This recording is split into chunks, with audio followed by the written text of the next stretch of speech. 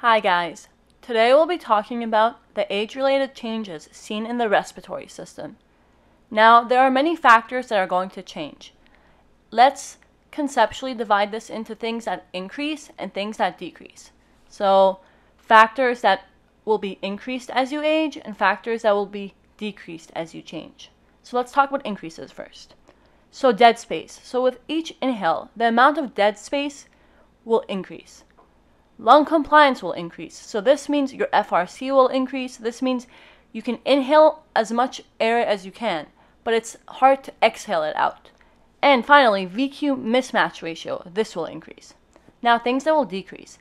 The elastin tissue will decrease. Now, this is a common theme seen in blood vessels as well. As you age, they will stiffen and decrease in elastin content as well. The chest wall compliance will also decrease. Now, finally, I want to make a key point here. There's a total decrease in the total respiratory system compliance, and this is because the decrease seen in chest wall compliance overall outweighs the increase in lung compliance.